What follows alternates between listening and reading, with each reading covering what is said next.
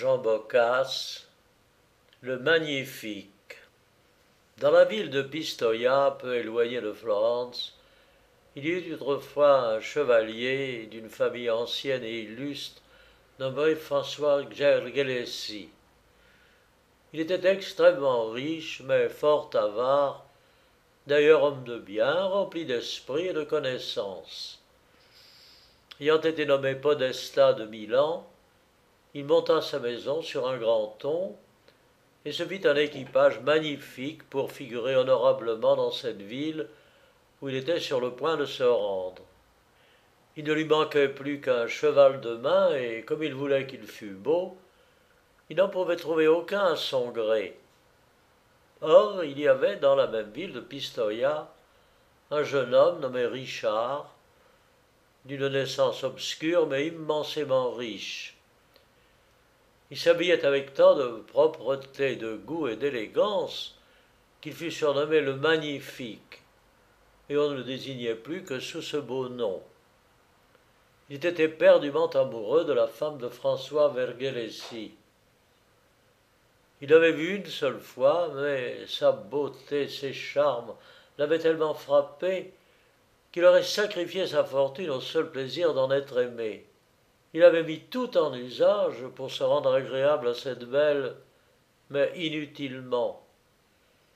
Le mari la tenait si fort de court qu'il ne put seulement pas parvenir à lui parler. François n'ignorait point l'amour de Richard et le plaisantait à ce sujet toutes les fois qu'il le rencontrait. Celui-ci le badinait à son tour sur son extrême jalousie, et ses railleries réciproques n'empêchait pas qu'ils ne fussent bons amis.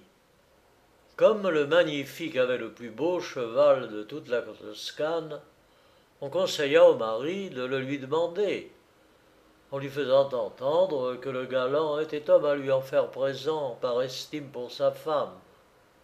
François, gourmandé par son avarice, se laissa persuader et envoya prier le magnifique de vouloir bien passer chez lui. Il lui demande s'il veut lui vendre son cheval, moins par envie de le lui acheter que pour l'engager à lui en faire un don. Le magnifique, charmé de la proposition, lui répond qu'il ne le vendrait pas pour tout l'or du monde. Mais quelque attaché que j'y sois, ajouta-t-il, je vous en ferai présent si vous voulez me permettre d'avoir un entretien avec madame votre épouse, en votre présence pourvu que vous soyez assez éloigné pour ne pas entendre ce que je lui dirai. Cet homme fut assez vif, pour pour se laisser dominer par l'intérêt. Il répondit qu'il y consentait volontiers, étant assuré de la vertu de sa femme, et comptant se moquer ensuite du magnifique. Il le laisse dans le salon et va trouver incontinent sa chère moitié lui conte ce qui venait de se passer et la prie de vouloir bien lui gagner le beau cheval de Richard. Cette complaisance, lui dit-il, ne doit pas vous faire de la peine. Je serai présent, je vous défends sur toute chose de lui rien répondre. Venez entendre ce qu'il a à vous dire. Madame Vergelessi était trop honnête pour ne pas blâmer le procédé de son mari elle refusa de se prêter à son désir. Mais il insista tellement qu'elle se vit forcée de lui obéir. Elle le suivit donc dans le salon en murmurant contre sa sordide avarice. Le magnifique ne l'eut pas plutôt salué qu'il renouvela sa promesse, et après avoir fait retirer le mari à l'autre extrémité du salon, il s'assit auprès de la dame, et voici le discours qu'il lui tint. Vous avez trop d'esprit, madame, pour ne vous être pas aperçue. Depuis longtemps que je brûle d'amour pour vous. Je vous en demande pardon. Mais je n'ai pu me défendre des charmes de votre beauté.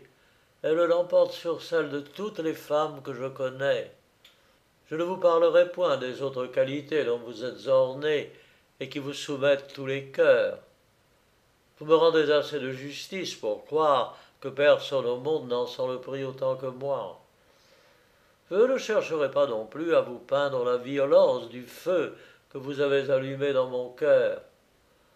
je me contenterai de vous assurer qu'il ne s'éteindra qu'avec ma vie et qu'il durera même éternellement, s'il est encore permis d'aimer après le trépas. Vous pouvez croire, d'après cela, madame, que je n'ai rien au monde dont vous ne puissiez disposer librement. Mes biens, ma personne, ma vie, tout ce que je possède est à votre disposition. Je me regarderai comme le mortel le plus heureux si je pouvais faire pour vous quelque chose qui vous fût agréable. Je me flatte que, d'après ces dispositions, vous voudrez bien, madame, vous montrer un peu plus sensible que vous ne l'avez fait jusqu'à présent à l'amour que vous m'avez inspiré dès le premier jour que j'eus le bonheur de vous voir. De vous dépend ma tranquillité, ma conservation, mon bonheur. Oui, je ne vis que pour vous, et mon âme s'éteindrait tout à l'heure si elle avait l'espoir de vous rendre sensible à ma tendresse. Laissez-vous fléchir par le plus amoureux des hommes. Ayez pitié d'un cœur que vous remplissez tout entier.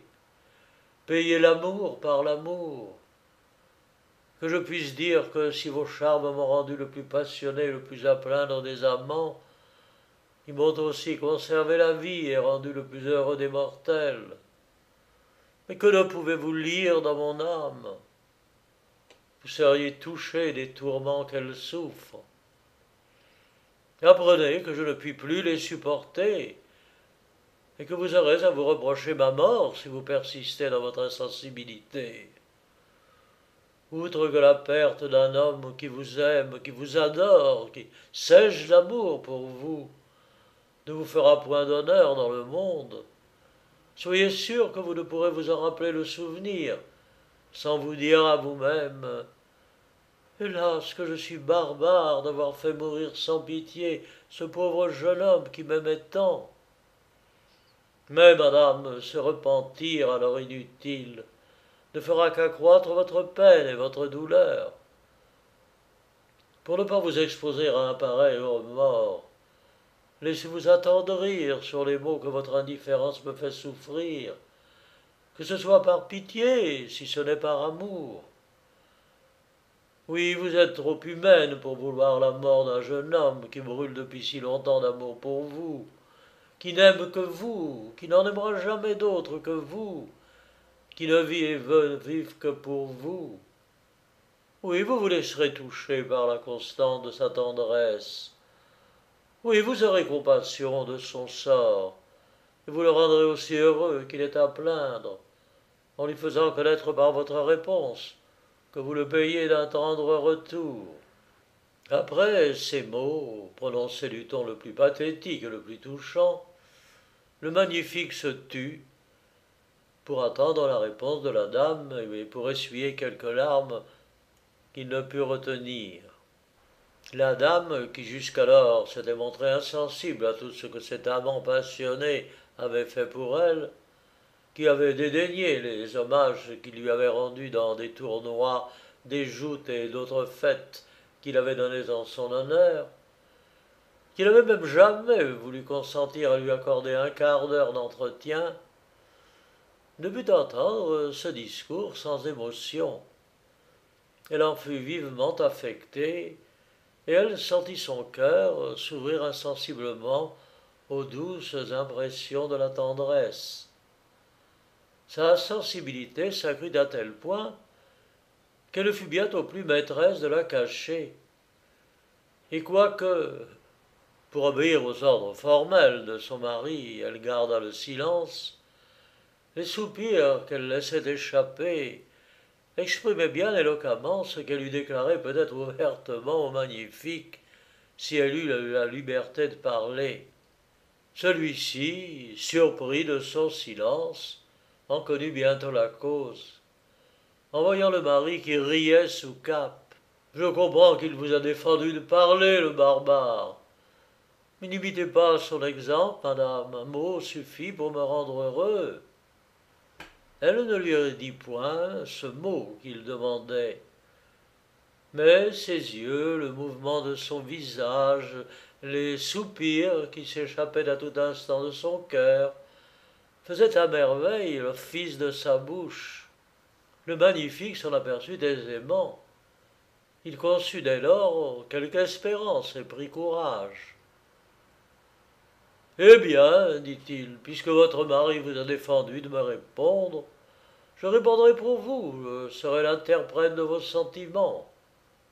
Et aussitôt de tenir le langage qu'il désirait qu'elle lui tint. Mon cher Richard, dit-il en prenant un ton plein de douceur, il y a longtemps que je me suis aperçu de ton amour pour moi. Ce que tu viens de me dire me prouve combien il est tendre et sincère. Je t'avoue que j'en suis flatté, que j'en ai un vrai plaisir. Oui, je t'ai paru insensible, cruel. Eh bien, je ne veux plus que tu crois que cette insensibilité soit dans mon cœur. Oui, je t'aimais, mais la prudence m'empêchait de rien témoigner. Je suis trop jalouse de ma réputation et de l'estime du public pour avoir agi autrement. Mais, comme je te connais prudent et discret, sois tranquille. Je suis toute disposée à te donner des preuves de mon tendre attachement. Encore quelques jours de patience, et sois sûr que je tiendrai la promesse que je te fais. Je sens que ce n'est que pour l'amour de moi que tu te fais présent de ton beau cheval à mon mari. Il est juste que tu sois dédommagé de ce sacrifice.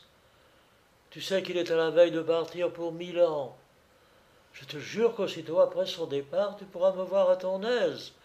Et pour que je ne sois pas dans le cas de te parler encore, pour t'apprendre le temps auquel nous pourrons nous réunir, je te préviens que le jour que je serai libre et que j'aurai tout disposé pour te recevoir, je suspendrai deux bonnets à la fenêtre de ma chambre qui donne sur le jardin.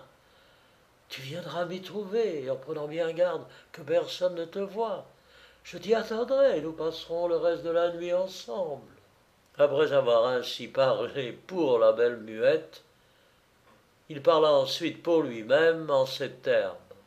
Ma belle, ma chère, mon adorable dame, je suis si pénétré de vos bontés. Elles me causent une si vive joie que je n'ai pas d'expression pour vous peindre ma reconnaissance. Et quand les expressions ne me manqueraient pas, le temps le plus long ne suffirait pas pour vous témoigner toute ma sensibilité.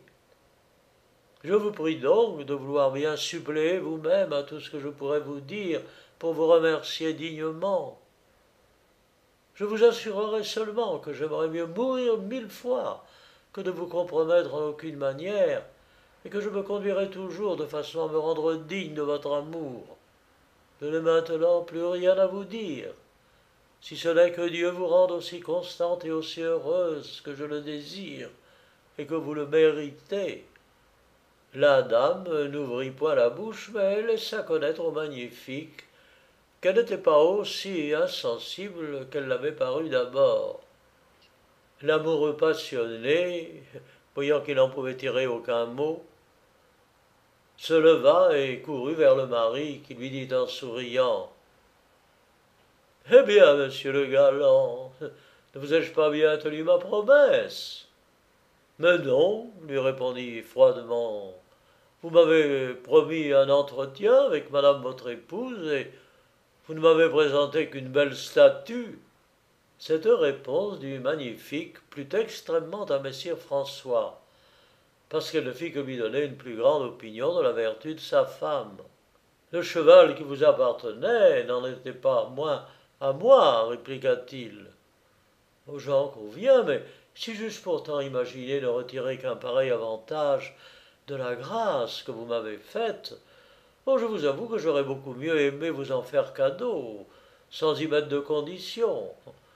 J'aurais eu la satisfaction du moins de vous avoir fait la galanterie en entier, au lieu que je l'ai fait en quelque sorte que vous le vendre. Le mari souriait malignement en l'écoutant, et se moquait de lui tant qu'il pouvait. Parvenu ainsi au comble de ses désirs, il partit deux jours après, pour se rendre à Milan. Quand la dame se vit en liberté dans sa maison, le discours que le magnifique lui avait tenu, l'amour dont il brûlait pour elle, la générosité avec laquelle il avait fait le sacrifice d'un cheval auquel il était attaché, toutes ces choses s'offraient continuellement à son esprit. Son amour-propre prenait même plaisir à s'en occuper. Ce qui contribuait surtout à l'entretenir de ses idées, c'était de voir le passionné Richard passer et repasser plusieurs fois le jour devant sa fenêtre. Elle disait en elle-même lorsqu'elle l'apercevait Le pauvre jeune homme, comme il m'aime Oh, ne dois-je pas avoir compassion de lui, puisque c'est pour moi qu'il souffre Que ferais-je ici toute seule pendant six mois de veuvage? C'est bien du temps pour une femme de mon âge. Comment mon mari pourra-t-il me payer ces arrérages? Qui sait s'il ne fera pas une maîtresse à Milan D'ailleurs, quand trouverai-je un amant aussi tendre, aussi aimable que le magnifique? Ces réflexions, qui revenaient sans cesse à son esprit, la déterminèrent enfin à pendre les deux bonnets à la fenêtre de sa chambre. Richard ne les eut pas plutôt aperçus que transporté de la plus vive joie, il se crut le plus heureux des hommes. Il attendit la nuit avec beaucoup d'impatience, et quand elle fut venue, il se rendit à la porte du jardin qui n'était que poussée, et courut, après l'avoir fermée, à la porte du corps de logis où la dame l'attendait. Il la suivit dans sa chambre et n'y fut pas plutôt entré, qui s'empressa de l'embrasser et de la couvrir de mille baisers.